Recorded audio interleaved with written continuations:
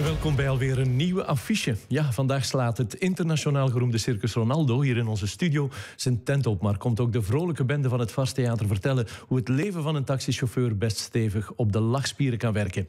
Maar eerst naar één van de theaterhits van toen en van nu. Want na twintig jaar draait de jukebox weer op volle toer in onze Vlaamse schouwburgen en culturele centra. En wie daar alles over weet te vertellen is een van Vlaanderens meest geliefde acteurs, Lucas van den Einde. Als dat geen introductie is, Lucas. Dank u wel, Mark, voor deze mooie inleiding. Hoe gaat het met je? Waar ben je zo al mee bezig tegenwoordig? Goed. Ja, terug jukeboxen natuurlijk. Ja? Uh, we zijn gestopt in maart 2020, half maart, zoals zoveel. Ja. Uh, hadden we de helft gespeeld van het jukeboxen en nu zijn we, hebben we hem terug sinds uh, een week of drie opgepikt en Ja. spelen we tot half mei. Ja. Ik ben nog de laatste monologen aan het spelen met de kolonie. Ja? Een, eh, een monoloog van, eh, geschreven door Hugo Matthijssen. Onheil in Black Creek. Ah ja. over eh, een man die een cowboydorp runt. Maar hij moet dat eh, overlaten aan de jongere generatie. En die hebben daar totaal andere plannen mee. En dat, En heeft het er ook wat moeilijk mee? ja, dat doet pijn. Dat doet pijn. Is dat het verhaal van ouder worden? Eh, onder andere, maar ook van de verandering van, hoe zal ik zeggen, ja, er zit een kleine knipoog naar heel het woke gebeuren. Ah, ja, ja. En de cancel culture. Ja, ja. En, en ja, er is, er is de laatste jaren wel wat gebeurd, hè, Mark? Ja, het is, het is een serieuze rollercoaster ook wel, die voorstelling. Ja, ja, wel. Maar allee, als ik dan nog even terug over die Black Creek mag zeggen, de Ja. Hugo doet dat natuurlijk op zijn eh, eigen gereide manier. Met, eh, met een knipoog en met een milde humor. Ja. Maar wel duidelijk genoeg om te Dat zeggen. maakt het vaak nog meer eh, snijdend. eh, Hè? Absoluut. En de rest moeten de mensen maar invullen. Hè. Ja. Dat is toch wel jouw, jouw passie, denk ik. Hè? Dat theater, dat live gebeuren. Want je hebt natuurlijk een ontelbaar palmares van films, van televisieseries. eh, Ja, toch allee, best Ik ben aanzienlijk. ook al een tijdje bezig, Mark. Ja, hè? klopt. Ja, nee, nee, maar ik, ik, ik ben zeer blij met, met, met die dingen die ik al heb mogen doen.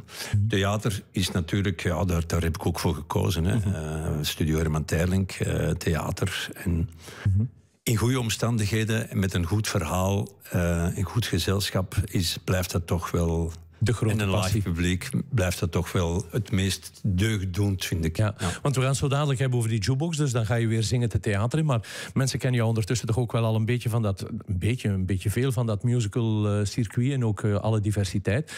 Maar dat is precies wat stilgevallen is. Dat een bewuste keuze? Je was bijvoorbeeld niet terug in de laatste dans. Nee, goh, ja, het is te zeggen. Eh, het punt is wel, toen ik afstudeerde aan de Studio Herman Terling, eh, bestond het, eh, het Arena Theater nog in Gent. En Arena Theater, dat was dan zo eh, ja, eind jaren 70, jaren 80. Dat was eigenlijk het muziektheater in, in, in, in Vlaanderen. Die deden ook vrij alternatieve dingen. Hè. Die deden Bertolt Brecht, uh, Draai Groschen over. Allee, ja. Daar zat toch ook wel dat theater... Ja, Linda eh, Lapon zat erin, Katrien de Vos, eh, Marijn de Valk, de Daan van den Durpel, eh, de Karel de Ruwe, eh allee, ja, eh, Lilian Doorkes. Eh, en in de tijd, als, als ik nog op de toneelschool zat, was het zo, het laatste jaar deed je vier producties. En dan kwamen mensen uit de stil, uit het beroep, die kwamen kijken. ja, een soort jury. Een soort jury. Waren ook mensen van televisie, maar er waren ook mensen uit theater. En Jacques van de Velde, jammer genoeg... De betreurde Jacques eh, van de Velde, ja. Ja. Eh, was toen directeur van eh toenmalig Theater Arena. Die was komen kijken naar de productie en die zei... Kijk, eh, je moet een zangauditie doen. Als die zangauditie goed is, dan krijg je een jaarcontract aangeboden bij Theater Arena. Want we gaan Jesus Christ Superstar En doen. daar begon jouw carrière dan Ja, eigenlijk. en ik dacht, een jaarcontract, jong. Als ik dat met thuis kan komen en zeggen... Moeder, vader, kijk, zie. hier, Dan wil ik wel het zingen. acteurke, hè. Ja. Allemaal schrik natuurlijk thuis van... Je gaat nooit uw kost kunnen verdienen. Ja, Wat je ging in de riool terechtkomen. Wat ik begrijp. Ja. Zie dus ik heb een jaarcontract. En ik, was, ik deed L'Homme de la Mancha, een, een, een lied uit L'Homme de la Mancha. En ik mocht toch wel beginnen, zeker. Ja. En we begonnen inderdaad met de Jesus Christ Superstar... met eh, Rufus Collins. Ja. Eh, Een memorabel werk nog steeds, maar toen zeker. ja, toen was dat echt wel, wel, wel iets. Het was echt de creatie van de Vlaamse Jesus Christ Superstar. Dat was heel fijn om te doen. En je was vertrokken met het en zingen dan- eigenlijk. allee, ik wil maar zeggen, ik, ik had toen al, al wel een beetje van, van muziektheater en musical geproefd. En dat smaakte wel naar meer. En dan later is dans gekomen, 40, 45. Maar bijvoorbeeld ook de herneming van 40, 45 heb ik niet kunnen doen. Uh, omwille van ja, andere, andere... En agenda's en de tijden liggen, uh, liggen anders.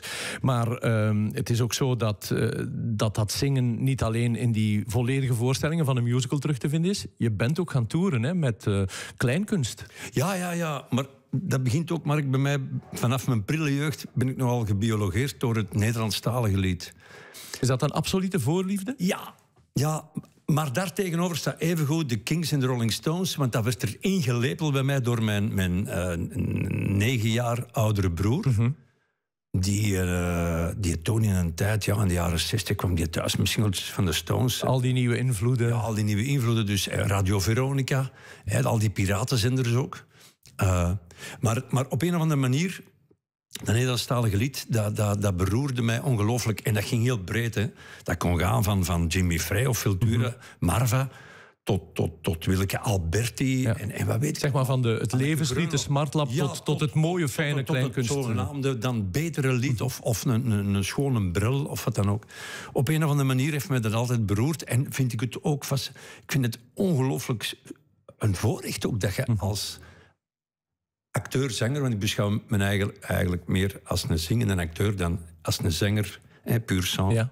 Dat is nog iets anders, vind ik.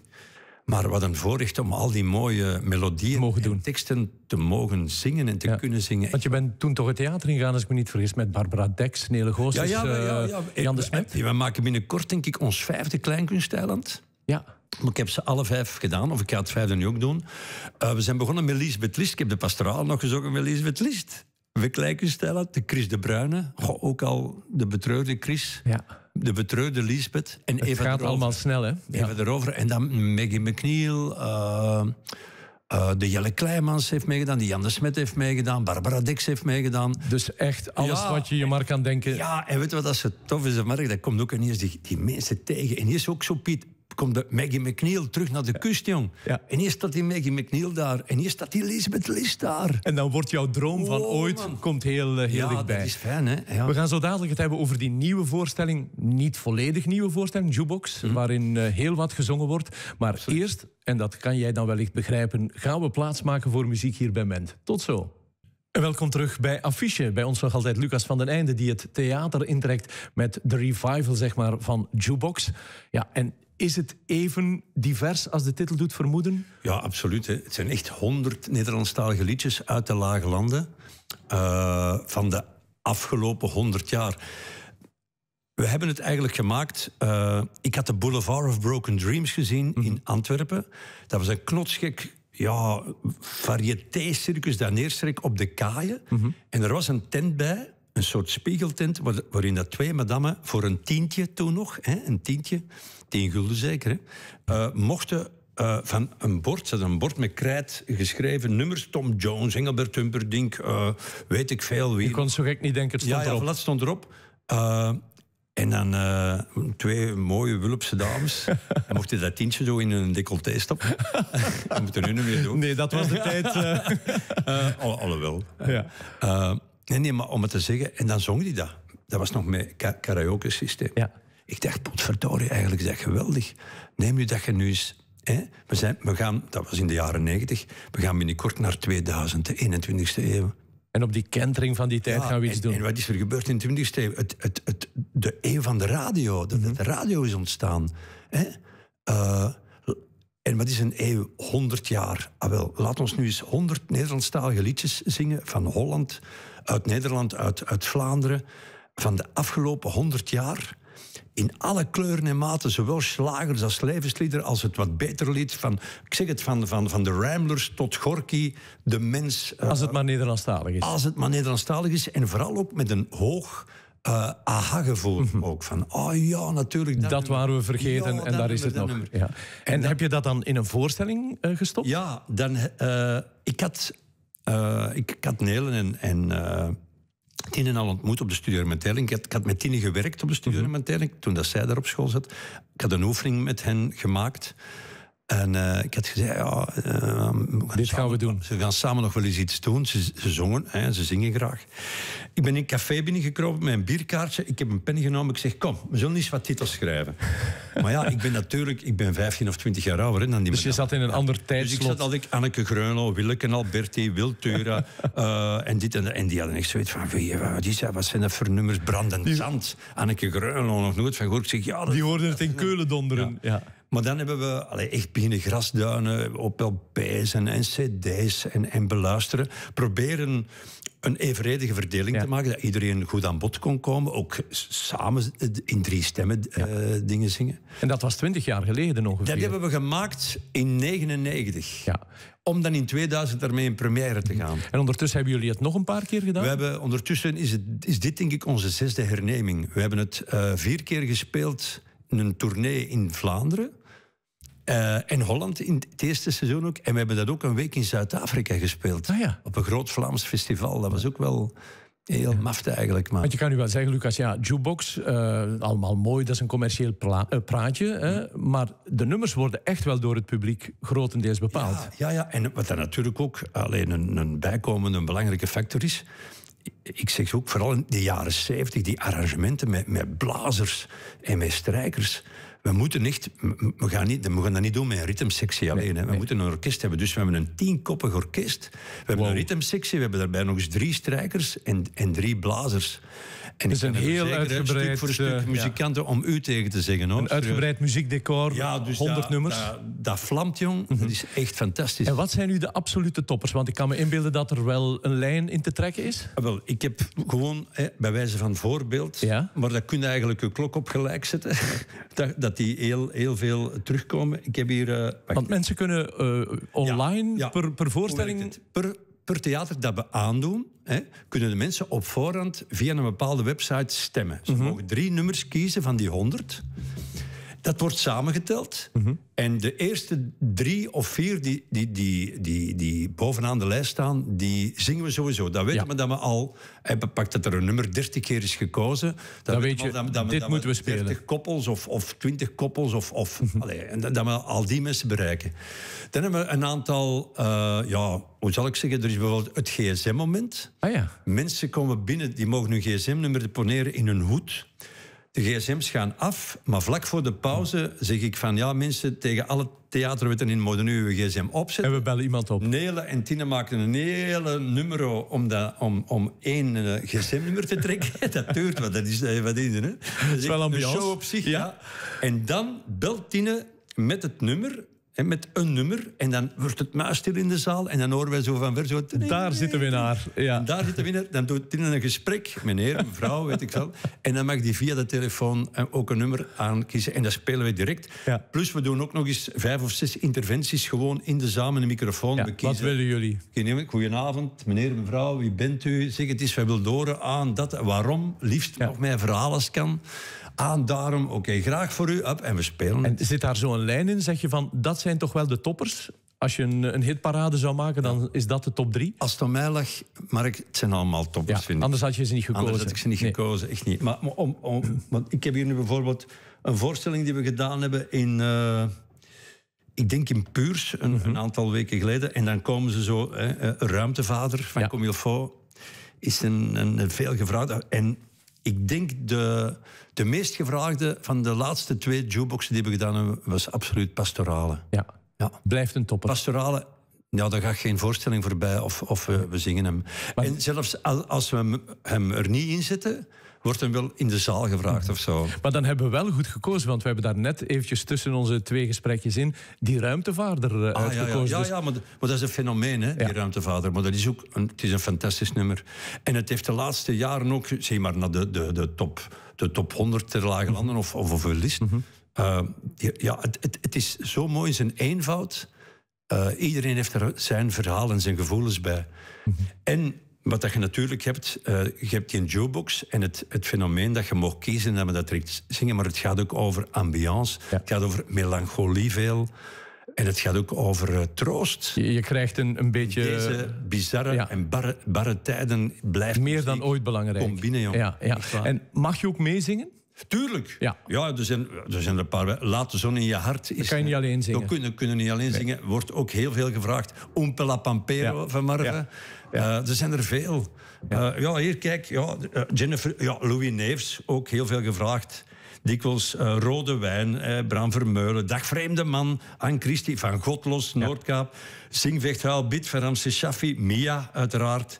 Allereerste keer, Soldiers of Love, een mooi verhaal. Goedemorgen, morgen. Mensen moeten, mensen moeten gewoon elke keer Echt waar. opnieuw komen kijken, want elke voorstelling is anders. En wordt dit echt de laatste of Never Say Never? Ja, de vorige was zogezegd al de laatste. Ja, dus er komen er nog. Ja, ik weet het niet. Ik, ik, ik moet eerlijk zeggen, Mark, ik weet het niet. Ik heb toen nog tegen Tine gezegd, ik zie me niet op mijn 60ste bij Jennifer Jennings nog eens die, die Ja. beweging maken van Louis maar, ik doe het nu elke avond Ja, en alles heeft zijn charme, Lucas. Ja, ja. We, we hebben niets om naar uit te We kijken. zullen zien, we zullen zien. Maar nu, allee, ook het feit dat we nu terug hebben, allee, mogen beginnen spelen terug. Ja. En de mensen zijn er, ik kan u verzekeren, iedereen is gigantisch geladen. En er zit een plezier en een engagement in dat, eh allee, ja, dat En dan- deugd doet. Dan zijn we bij de basic dat we mensen mogen vermaken. Daar op een gaat het over, hè? fijne manier. Lucas, heel veel succes. Dankjewel. Ook eh, aan de dames toegewenst, het hele groot orkest. En eh, we komen zeker meezingen. Dat is heel goed, dank u wel. Gaan we dus doen.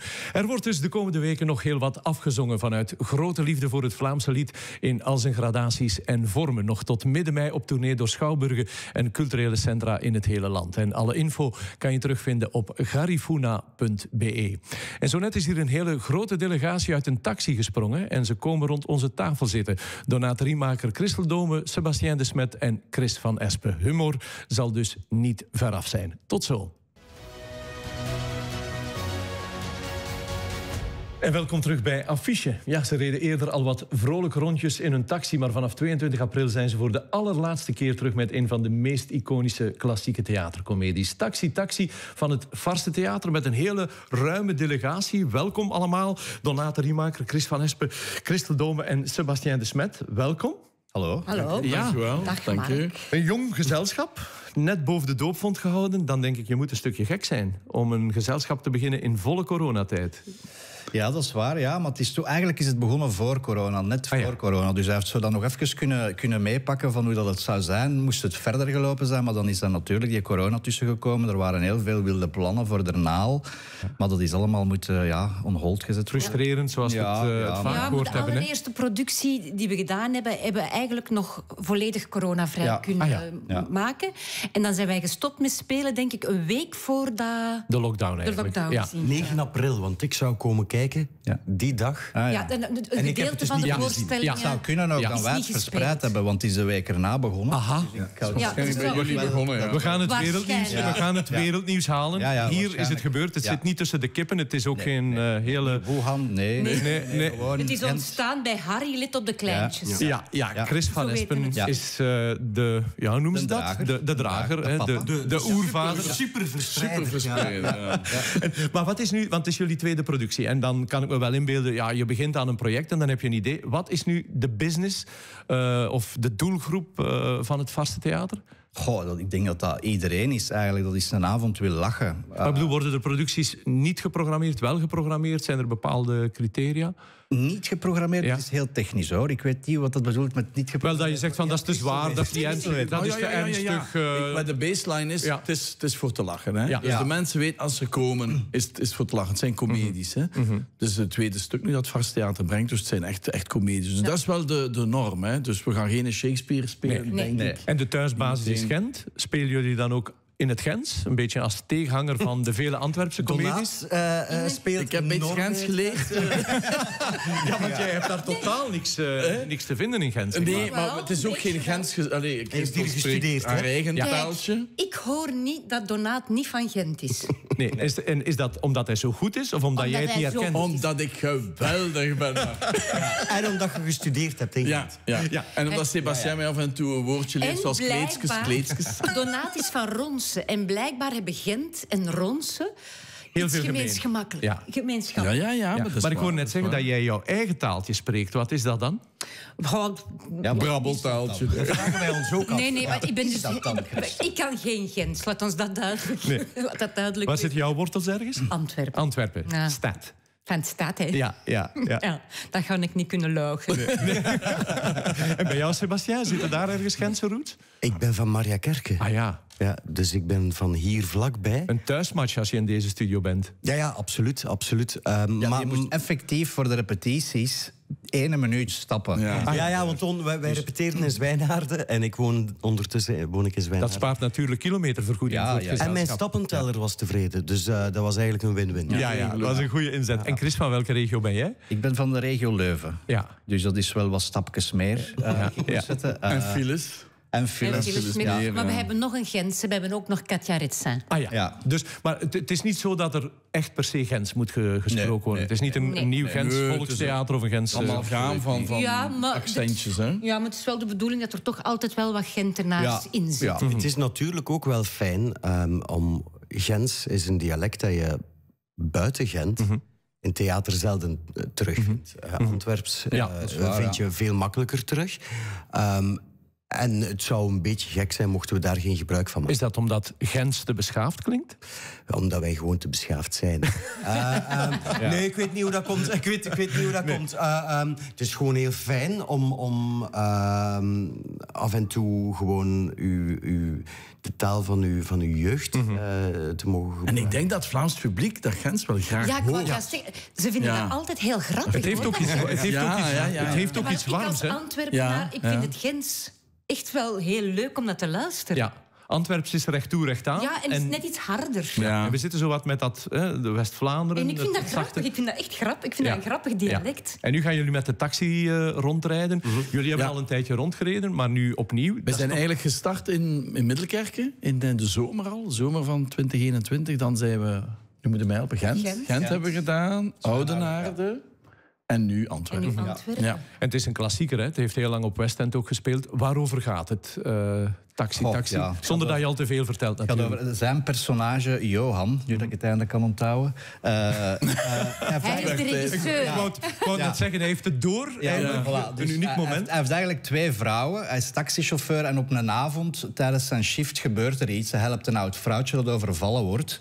En daardoor raakt hij in een kliniek terecht en, en de politie zet hem dan in het verkeerd huis af waar hij eigenlijk niet moest zijn die ochtend. En dan, En dan gebeurt komen die vrouwen. En dan eh, komen die bijna vrouwen in beginnen contact. naar elkaar te bellen en zo. Ja. Dus het is ja... Ik ben mis- zo blij dat jij dat vertelt. Ja, dat is goed gezegd. Ja, hè? ik vind dat echt Het is heel Ja. duidelijk en Ja, ik heb in de auto dacht ik, als Dat mij dat vragen, hoe moet ik dat... Hoe moet ik dat maar, maar hij heeft dat perfect. En is dat uit het leven gegrepen voor jou, eh, de gigolo-toestand? Ah, nee, nee. Eh, ehm, eh, Ja. Nu gaat hij iets vertellen dat zelfs wij nog niet Ja, weten. dus we zijn heel benieuwd. De gigolo, nee, die, die die is aan mij verloren gegaan. Ja. De gigolo is aan mij verloren gegaan. Dat is zo Maar raar. vrouwen. Vrouwen en taxirijden. Hè? Vooral taxirijden. ja. En mijn meter die loopt. Daarbij houden. En jij, Christel, wel- welke rol speel jij daarin? Ja, wel een van die vrouwen, hè. Ja. We 50% van zijn lusten. Ja, laten we 30, zeggen dat 30. hem die... Ja, Ja. 30, want de verlusten gaan vooral naar de anderen. Ja, Ah, oké. ja. Ja. Ja. Ik ben Katja Redstaan. ja, ah ja. En wat ben jij meer? Voor de ja, zorg. voor de boterhammen. Ja, de zorg. De zorg. De, de zekerheid. De zeker. Het is zo dat haar personage lap- ja. napper. Gecrocheerd nappen. Dus Ja. dat is al... Allee. Laten we zeggen dat Katje net iets sexier Ja, voor de ik dag wou net zeggen, een ik. heel boeiende bezigheid Ja. wel. Hè? Ja. En wat speel jij, Donaat? Ik heb een paar foto's gezien. Ik ben de bovenbuur ja. van Katja en, eh, en, en Johan. Hij is de enige die zijn eigen kledij mag spelen. Ik moet voor mijn eigen was kop. Maar straks gaat misschien wel iets zien passeren hier op de wal. Maar ik, eh, ik heb niks met het verhaal Oh te ja, maken. Ik Ja, heb mijn eigen, mijn eigen problemen boven, mijn nieuw appartement aan het inrichten en zo. En ik val constant binnen op foute momenten met foute vragen en foute... Hij zit er letterlijk en figuurlijk bovenop. Eh, soms... Nee, spreek ik er bovenop? Nee, hè? Nee, nee. Eh, gelukkig Nee, hij spreekt net op tijd terecht. Ja, want anders was het van dat geweest.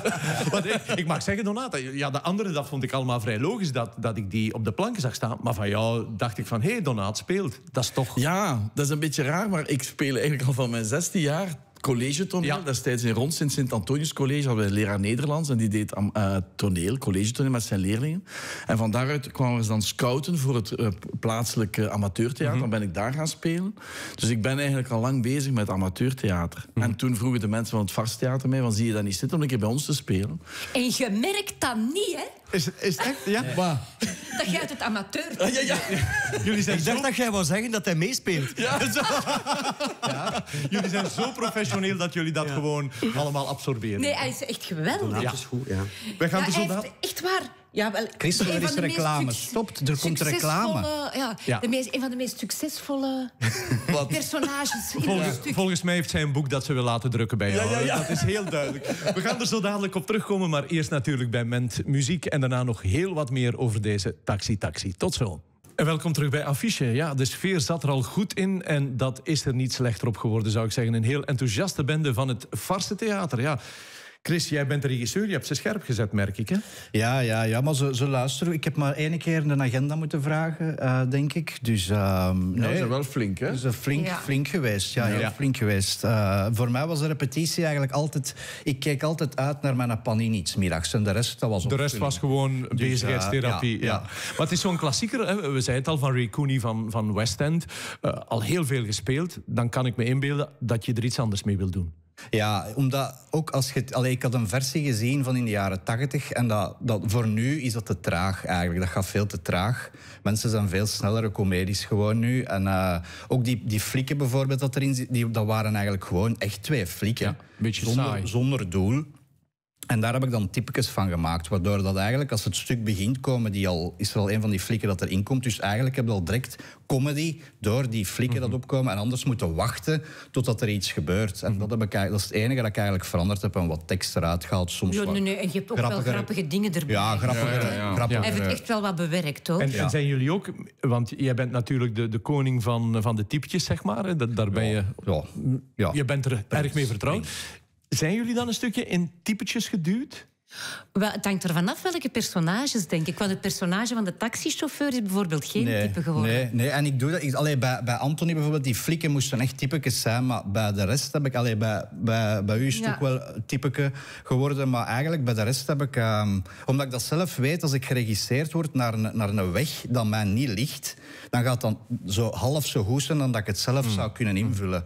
En ik laat zo meestal wel iedereen wel wat doen. in het En zijn ding doen en daar dan Ja, en verder zien, bouwen. en zien Ja. wat dat ze er zelf van maken en dan mijn, mijn doel daarin in doorduwen. Maar in het begin laat ik eigenlijk iedereen wel wat gerust. Omdat ik weet dat dat zelf niet plezant is, dat je zoiets moet doen waar je zelf niet achter staat. Mensen denken vaak bij comedie het gaat vanzelf, maar het is wel eh, hard knokken, hè, zo'n voorstelling spelen, denk is ik. Eh, eh, is het zo met deuren, bedden, eh, Ja, en het luistert op elkaar, af elkaar. Het is Ja, topsport, hè? Ja. Het is, het is, het absoluut het is timing, het is, het is, het is eh, ehm, luisteren, op scherp staan. ehm, elke avond is anders. En, en voor mij persoonlijk, ehm, ik heb daar de eerste twee weken van de repetities eh, echt wel moeten naar zoeken. Eh, ik had zoiets nog nooit gedaan. Dus dan, dan ja, moet je daar even je comfort en je dynamiek in vinden. Eh, maar ik denk dat dat bij iedereen op zijn of haar manier zo, zo zal zijn. Ehm, en op een bepaald moment valt dat op een gekke manier valt dat samen en begint te merken dat je ook effectief samen begint te spelen. Ja. en, Ja. en, en dat er iets, iets gebeurt de te magie. ontstaan. Ja, ja, ik weet ik kan dat niet, ja, ik kan dat niet, niet benoemen hoe dat, dat komt. Want je zegt net, het, het was nieuw voor jou. Heb je dan toch eventjes getwijfeld? Want aan comedie hangt altijd zo'n beetje een klank van... ja, dat is niet het echte theater, terwijl dat een onderschat medium Ah, is. ja, nee, ja, aan musical hangt helemaal eh, eh, ticket dat dat niet echt Ja. zou zijn. Dus, eh, wat allemaal dus onterechte dan- dingen zijn, want dus elke dan- discipline dan, blijft zou heel mijn carrière fake zijn. En, dus dat was, dat was een reden te meer om ja te zeggen. Ja, nee, ik, ik kijk niet op die manier naar mijn vak. Ik vind het gewoon heel leuk dat ik word uitgedaagd. En als ik eh, zeker in, in dit geval voor iets gevraagd werd dat ik nog nooit had gedaan, Dan is dat een uitdaging. ehm, ja, dan vond ik dat, vond ik dat fantastisch. ja. En Chris, jij staat zelf ook op de planken. Vind je dat makkelijk om dat te combineren? Ja, omdat ik heb altijd wel een heel goed beeld hoe dat het er moet uitzien. Dus ik kan me perfect daarin plaatsen en al doen alsof dat ik dat niet ben. En dat van op een afstand bekijken hoe dat het eruit ziet. Ja. Dus eigenlijk was dat... Nu, moest dat nu de hoofdrol zijn, zoals dat in zijn geval is, is dat iets anders. Ja, dat zou niet kunnen. hè. Dat zou ik niet kunnen. dat is veel te veel tekst. Nee, want toen ik het zag, dacht ik eventjes van... eh, al die anderen hebben maar één regisseur nodig, maar Chris heeft er eh, vijf of zes nodig, al die andere collega's. Ja, ja, ja, maar dat doe doen wij ook wel. Wij geven, wij geven elkaar Ja. ook wel, wel constant. eh, en dat, dat, moeten doen ook. Want, want dan, allee, als, als dat maar één visie is van één iemand, je ziet ook niet alles altijd. Dus eh, nee, ik- daarin werken we wel heel goed samen. In die, Maar dat is mij ook opgevallen in deze ploeg, hoe dat ze op zoek gaan naar altijd beter en beter en beter. En dat was dan soms, de- die grap is niet gevallen. Dat heb ik geleerd nu van hen. Een grap moet vallen. Ah ja, ah ja, de- grap moet vallen. En dat was soms na een voorstelling van, uw grap is niet gevallen, kwamen ze dan tegen mij. En en, waarom, en hoe komt dat? En dan gingen zij op zoek met mij naar waarom is die grap niet gevallen. En dan pas wat aan en de keer daarna viel ze dan wel. Dus dat is wel leuk om met zo'n groep te mogen werken. Ja. Dat je altijd maar verder en fijner en fijner gaat. En vind je dat je eh, tussen mensen die, die het dagdagelijks doen, dat je dan harder moet werken dan dat wanneer je liefhebberstoneel speelde? Nou, ik was wel verschrikkelijk nerveus, de eerste repetitie. Ja. Echt? Ja, ja, ja. Maar ja, ja, ja, ja, ja, ja. Ja, want ik heb, Ja. zelfs, ik heb zelfs even, toen dat lunch was, gezegd tegen iedereen, blijf buiten. En hebben we die scène alleen gedaan, omdat ik wist dat hem zenuwachtig was. Ja, maar ja. Door dat zo, uh, Ja, je maar valt daar plots- schitterend. ja. Je valt daar plots tussen de, de grote jongens hè, als amateur. En, en je denkt van, verdomme, ja, ga ik dat wel kunnen? En je begint te twijfelen. En, maar uiteindelijk is het zo'n warme groep. En, en, eh, En jezelf en laten ze u ook eh, de kans om, om te schitteren of om uw, uw rol te spelen. En als je die handrem maar loslaat, dan ben je vertrokken wellicht. eh. Blijkbaar wel, ja. ja, Ja, ja, ja, We hebben ja. samen die handrem losgelaten, denk ik. Ik ben persoonlijk nooit aan uw handrem geweest. Maar, maar, nee, echt. Hij heeft wel een paar Toch keer beloofd, maar... Maar wie zit er, want dit is al een hele vrolijke band. Wie zit er naast jullie nog allemaal in, eh, in de cast? Ah, We hebben nog eh, Katja Retzin, eh, Peter van Asbroek, Anthony van Kanegem, dan de, de, de baas van het Farse Theater.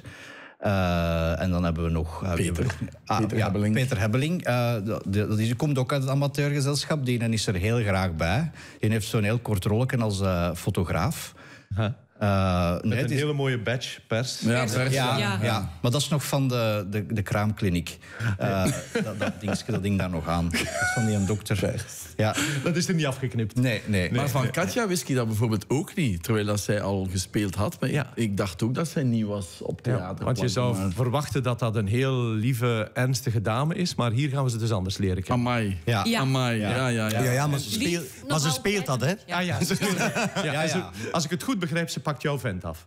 Nee, Nee, nee, nee, nee, nee, nee, nee, nee, nee, mag ik eventjes onderbreken? de verwarring is al ik, begonnen. heb, Ja, ik heb gewoon twee vrouwen Ah, oké. Ja. Ja, ja, ja. Ja. in mijn rol, hè? Ja, gewoon je stereo. mocht hem nu niet beschuldigen van dingen Nee, die hij nee, niet nee. gedaan heeft. Wel de puntjes op de i. zet. Ik was wel de eerste vrouw. Ja, Dit is wel waar. Ja, Ja, zij- Eva. Eva dus. Ja. ja. Katja is wel de tweede. ja. Na vier maanden was Ja, de maar volgende er al. in de hiërarchie maakt dat verschil. Hè? Mm, nee, want ze heeft hem niet echt afgepakt. Nee. Maar in elk geval, liefde in stereo voor jou, Sebastien. ja, ja, absoluut. Ja. Voilà. ja, ja. En dat luistert altijd beter dan mono, blijkt. Ja. Dat vind ik wel. En ik, ik ga nu op zoek naar Dolby Surround.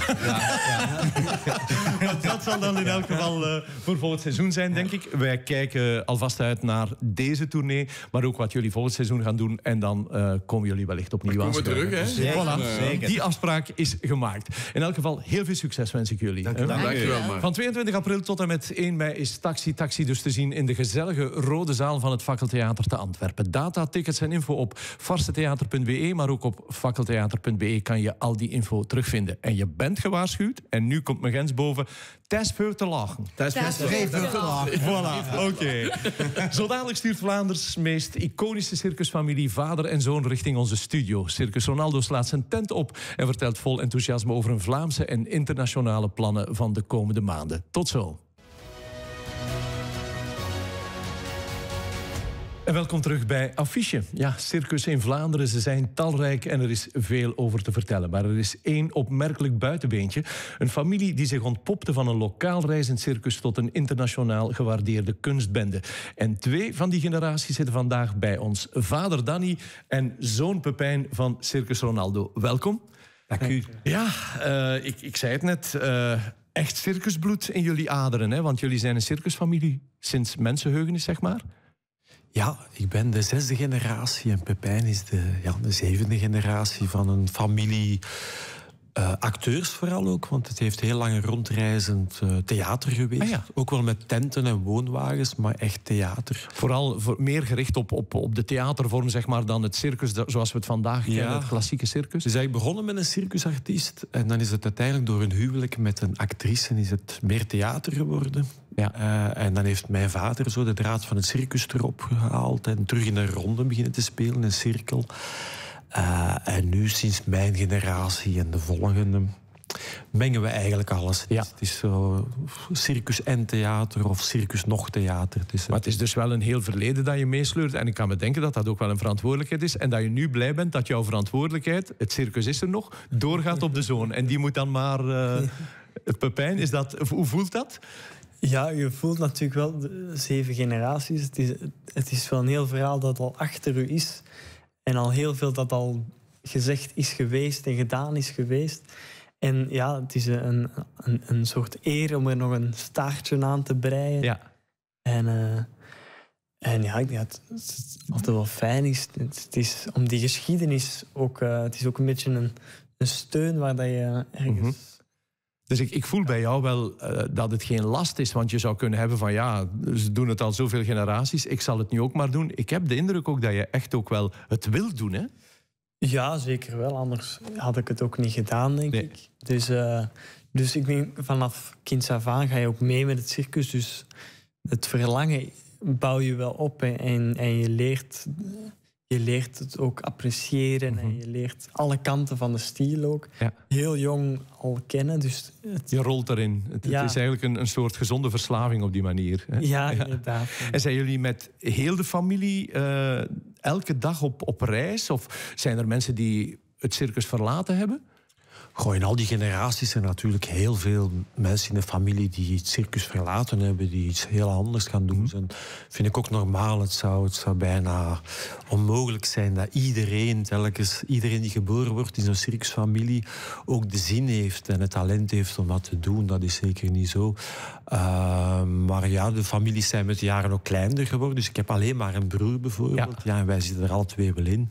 En mijn kinderen, ja, tot hiertoe hebben die er allemaal wel zin De in. Te pakken. En natuurlijk ook met de jaren zijn er ook heel veel spelers bijgekomen die niet echt bloedfamilie zijn, maar die wel een enorme inbreng gebracht En die eigenlijk ook wel tot de familie zijn gaan behoren. ja, weet je, als je zo rondtrekt met een tent en woonwagens, zeker in Europa, en zo'n grote afstanden samen aflegt, dan word je ook wel stuk. Dan schrijf je samen een verhaal. Hè? Ja. Ja, dat is En jullie hebben een gelijkheid. Jullie zijn allebei acteurs. Maar jullie hebben denk ik ook wel een een specifieke circusdiscipline. Of, of loopt dat door elkaar? Of proberen jullie zo volledig mogelijk te zijn?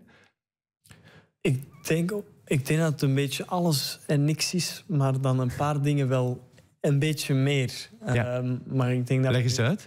dat we nu niet zo de, de, de artiesten zijn die één specifiek ding gaan doen en, en dat dan heel de, van begin tot einde. Ik denk dat we allemaal wel zin hebben in, in, in iets te doen en dan heel leergierig. Ja. Ehm, met één iets begonnen en al nieuwsgierig zijn wat het andere is. Je hebt een uitdaging en je pakt Ja. het aan. En dan ga je weer verder elke Ja, keer. ja. Hè? Ja. Het is ook zo bij ons. Vertrek het vaak ook wel vanuit een verhaal. En, en Mhm. vaak vanuit ons eigen verhaal. Maar als we dingen gaan leren in de circus skills, is het vaak in functie van. Ah, ja. Dat willen we gaan vertellen, dat willen we gaan delen met het publiek. En dat zou bijvoorbeeld wel fijn zijn dat we met pizzadeeg leren jong leren. En dan, En dan begin je eraan. En dan, gaan zie we je wel. daarmee aan de slag. Maar eh voilà, het komt vaak vanuit een, een emotionele kern. Zo. Ja. Want zijn jullie nu eigenlijk circus of theater of, of, of een mengvorm? Waar plaatsen jullie zich? Oh, moeilijk, hè? Dat is Ik denk dat we daar zelf ook niet te veel mee willen of, of, of, of, of bezig zijn, denk ik. Ik denk dat het ook zo wat, ja... Het is een beetje van de twee en, en Ja. we noemen het circus, maar je kan er ook een theatervoorstelling in zien. Dus eh, Ja, een buitenbeentje in, in Ja. Vlaanderen sowieso. Hè? Ja, het is ook pas als je er in een interview bijvoorbeeld zoals nu gaat over nadenken, dat je, dat je erop stoot. Ja. Maar als we aan het spelen zijn, zijn wij eigenlijk totaal niet bezig van welk aspect van wat ik nu doe is eigenlijk theater en welk aspect is circus. Het loopt allemaal door elkaar. Hè? Maar, maar jullie doen ook alles samen. Hè? Het, het, het bouwen, het reizen, het afbreken. Allemaal bij het spelen, of niet? Ja, zo voorstellingen ontstaan ook vaak wel door het leven bij ons. Zo. Het, het, gaat, het is nooit dat wij denken van... God, dat is een, een fijne boek of dat is een mooi verhaal dat al bestaat. Daar gaan we voorstellingen rond maken. Het verhaal komt meestal vanuit onze eigen situatie. En die ontstaat vaak door het reizen samen en wat dat we samen beleven. Of soms ook het gemis, het gemis van, van een ver verleden. Uh, dingen die we dan in een hedendaagse maatschappij missen. Die je dan gaat ah. invullen met... Uh... Ja, voilà, zeker als we dan ook nog voelen van... Als je daar met mensen over praat, van... Oh, mhm. nog mensen missen dat eigenlijk wel. Dan wordt het verlangen nog groter om daar een voorstelling rond te maken. Zo dadelijk gaan we het hebben over jullie voorstellingen. Want het is niet één voorstelling. Er komen een heleboel uh, voorstellingen de komende weken en maanden op ons af. Maar eerst gaan we, als je het goed vindt, eventjes pauzeren met muziek. En dan komen we zo dadelijk bij terug met Circus Ronaldo. Tot zo. Welkom terug bij Affiche. Bij ons nog altijd Danny en Pepijn van Circus Ronaldo. Een circus in Vlaanderen dat rondreist, maar ook eigenlijk theater maakt. Het, het verweeft zich wat met elkaar, hebben we er net gehoord. Maar vader en zoon samen in zo'n bedrijf, hoe voelt dat? Zien jullie elkaar in een, in een soort ja, natuurlijke hiërarchie? Of zijn jullie eens op de planken gelijkwaardig uh, artiest? Moeilijke vraag, hè? Ze kijken elkaar aan. Ja. Op scène spelen we natuurlijk wel een enorme hiërarchie, uh, omdat daar de voorstelling over gaat. Het is een vader-zoon relatie op scène die we à la commedia dell'arte zo groot mogelijk uitvergroten. Maar overdag, ik heb het gevoel dat we elkaar gemakkelijk vinden zo, uh, in de dingen. En, um... Leren jullie van elkaar? Ja, dat zeker wel. Ik denk, ik denk ook omdat ik, ik tijdens een, heel, een hele periode een beetje ben weg geweest. En dat het nu ook wel ergens een, een, een, een, een her... Uh, ja, een herontdekking is van... Uh, ja. Zo'n een herontmoeting. Ja. Dat je wel, ja, ook wel andere... Zo elkaar terug leert kennen altijd. En, ja. en dat is wel fijn. En leer jij van Pepijn? Ja, zeker wel. Want voilà, Pepijn is lang weg geweest. heeft echt school gevolgd. Uh, eerst een kunsthumaniora en dan een theaterschool in Brussel, Lassaat. Dus heb ik hem heel lang moeten missen. Maar is hij ook met heel veel bagage gekomen die ik niet ken. Ik heb nooit school gevolgd. Ik heb alles on the road geleerd.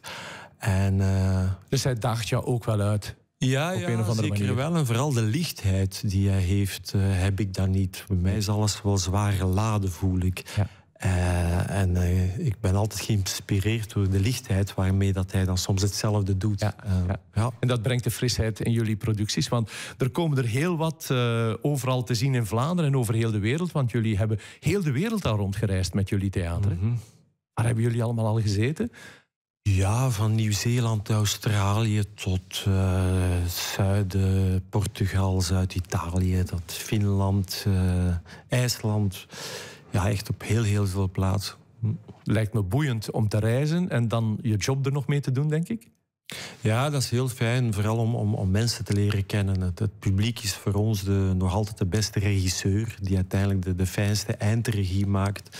En, en om zo vaak te wisselen van, van, van publiek in zoveel verschillende landen, streken, uh, dat is ontzettend boeiend, maar ontzettend leerrijk ook. Ja. Dat schaaft een voorstelling ook, dat polijst eigenlijk. Voortdurend in evolutie en je verfijnt het kwaliteitsvol denken, zeg maar. Hè? Ja. Ja, ja, dat zouden we nooit kunnen hebben of nooit kunnen als we op één vaste plaats zouden spelen. Dat zou echt onmogelijk zijn.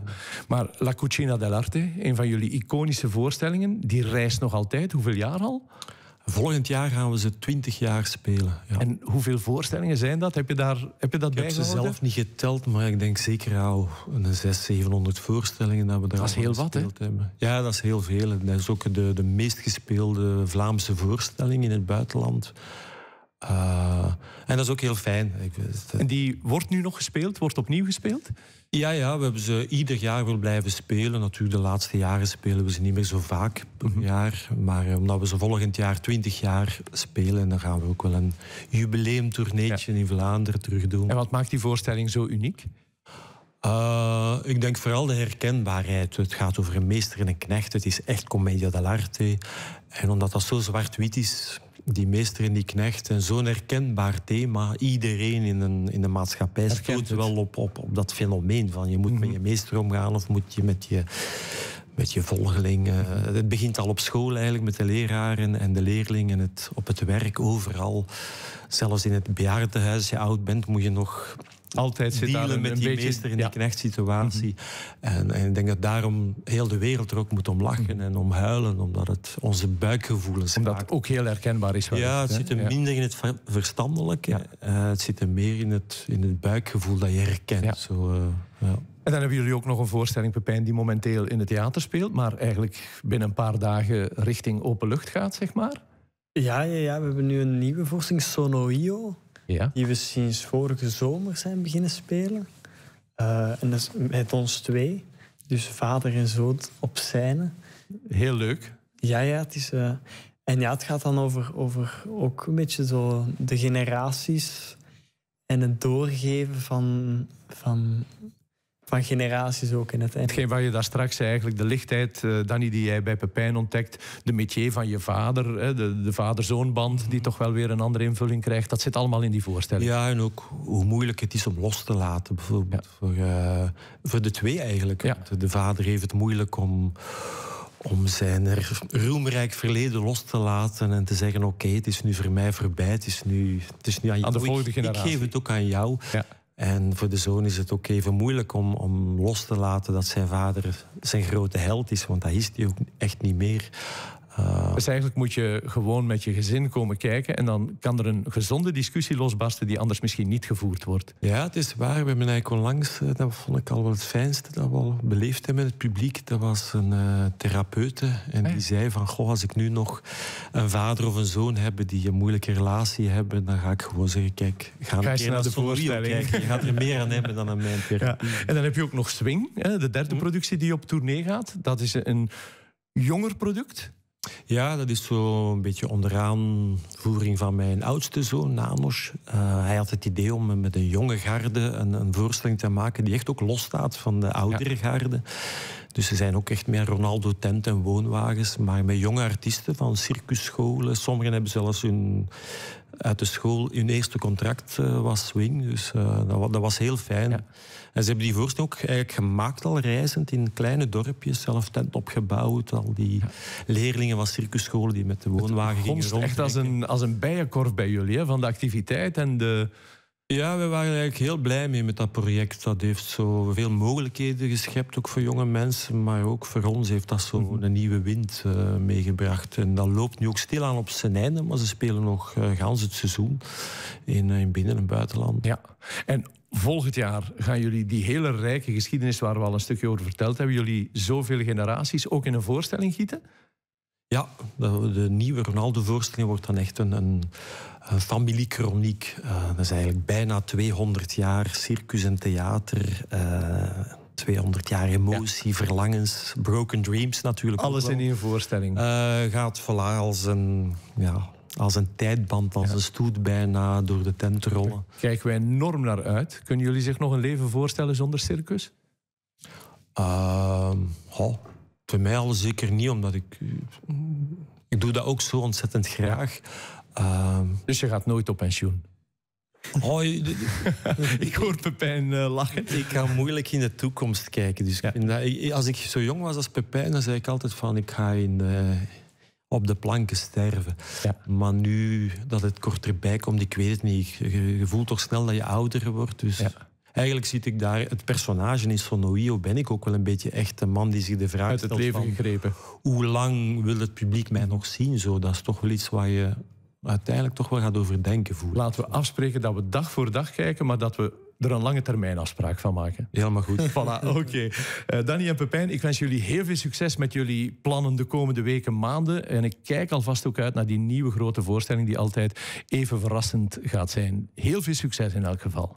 Dank je wel. Dank je wel. Lent of herfst, winter of zomer, u hoort het, je vindt ze altijd wel ergens in binnen- of buitenland. En alle info over het uitgebreide aanbod, voorstellingen en de specifieke speeldata en locaties kan je terugvinden op circusronaldo.be. En ga even grasduinen, want er zit heel wat leuke en interessante informatie. En vooral die voorstellingen gaan bekijken. Zo, dat was het voor vandaag. Volgende week leven we opnieuw een ondertussen erg vertrouwde affiche met Linda Lepom en een jonge generatie talentvolle artiesten duiken we de musical toneelwereld in. En Take 2 Producties neemt ons mee naar de volkstuintjes. En Festivaria geeft een exclusieve kijk op wat een van Vlaanderens grootste theaterdecors van de komende maanden wordt. Kortom, Goed uitkijken, nog een paar nachtjes slapen en uw honger wordt opnieuw gestild. Tot de volgende aflevering, tot affiche, tot dan.